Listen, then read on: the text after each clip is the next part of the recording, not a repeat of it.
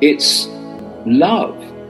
And what we've done, and it's been systematically distorted on purpose, is lost the meaning of love. We now connect in the human expression of it love with attraction.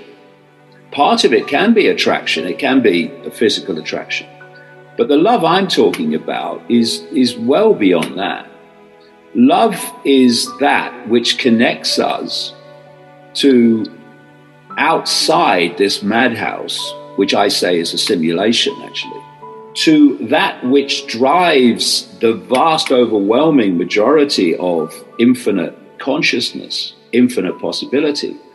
And what's happened is that humans have been manipulated into a fake reality, simulation, think matrix, that has sought to disconnect us, to separate us from that enormity of love.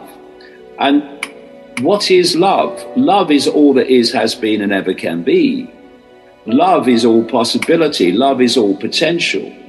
Love is um, that which says, I will always do what I know to be right, and I will not think about consequences, because to think consequences will be to consider not doing what I know to be right.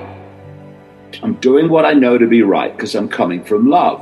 Love through this heart vortex is how we connect with the great beyond outside of this mind prison, which is what it is. This simulation, this matrix is a mind prison, a perception prison.